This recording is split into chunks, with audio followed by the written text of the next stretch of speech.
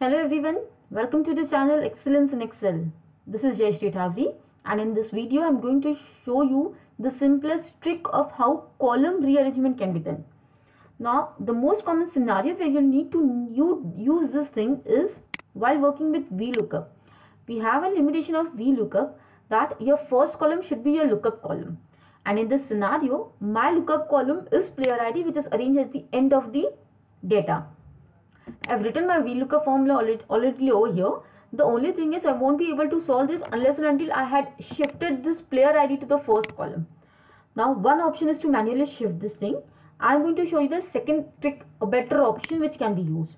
What I'm doing over here is I'm giving just column numbers to my data based on how I want to rearrange them. So I'm rearranging them based on player ID should be first, player name should be second, the age third, rating fourth and state as fifth column. I've done giving my column numbers and now I'm going to rearrange this. This rearrangement can be done in two ways either by using advanced filter option or by using sorting and filtering.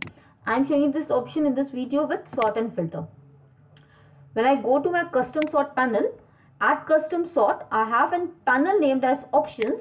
When I go to this options, here is a new panel available which can be used to do such things. I am saying over here that sort my data based on left to right.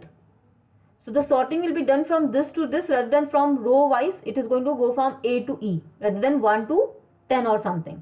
When I click on OK, what Excel is going to show now for you is the sorted by panel where the output had got changed. Before this the output was player ID, player age and the state. Now it is showing me which rows to be sorted. That means my column ID sequence number can be anywhere at any row. I can just simply select the row number over here. I am saying that sort them as smallest to largest. When I click on the OK button, you can check my data had been sorted based on player ID is the first column and my rating is the fourth column. And since the VLOOKUP formula is already written over there, I am getting my output also.